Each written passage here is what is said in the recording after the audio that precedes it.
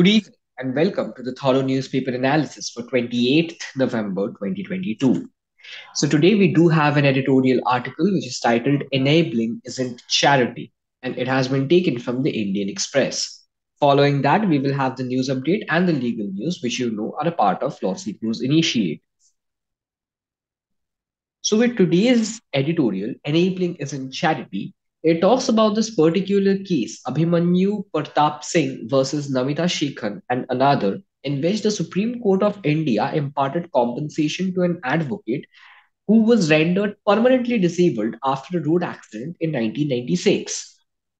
So it was basically a revision of the compensation that had been awarded previously to the appellant and the Supreme Court took into consideration that he had suffered a permanent disability and thus increased the amount of compensation that he would have received based on the order of the trial court.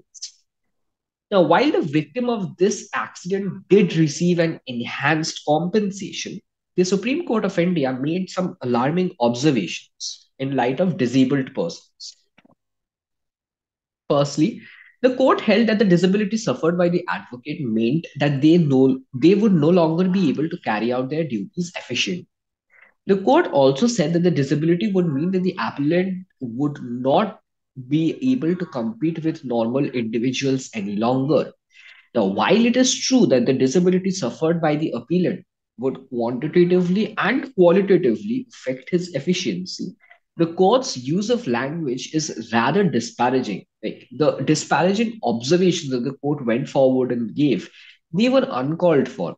And it is this Supreme Court itself that has stated previously that a lawyer can be just as effective from a wheelchair as long as she has access to the necessary means to represent the client to the best of her capabilities. Further, in the case of Vikash Kumar versus UPSC and others, the Supreme Court made special stress on the course of language that was to be followed in offices when referring to disability suffered by individuals. And in light of all of this, there should be strict course correction in the manner the officials are treated or the officials treat people with disabilities. So, with that, we move on to the news updates for today. Firstly, we have the world's longest gas supply day.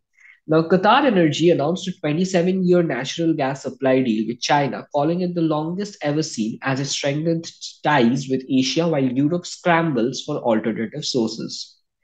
Secondly, Tata Consumer to buy Bisleri International. Bisleri International Private Limited is in advanced discussions to sell its business comprising its flagship bottled water brand Bisleri and Tata Consumer Products Limited is a front runner while other companies are in the race too, as the deal is yet to be finalized.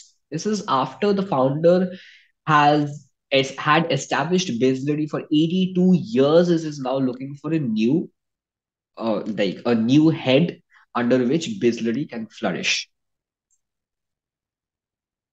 Thirdly, we have the IDFC First Bank launches FIRSTAP. IDFC First Bank has rolled out a sticker-based debit card called FIRSTAP.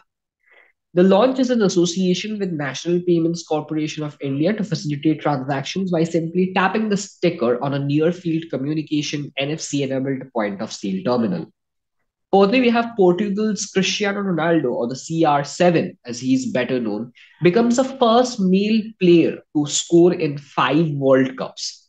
Now, the Cristiano Ronaldo, uh, Cristiano Ronaldo became the first male player to score at five World Cups with a goal for Portugal against Ghana the 37 year old striker converted a penalty in the 65th minute to give Portugal a 1 0 lead.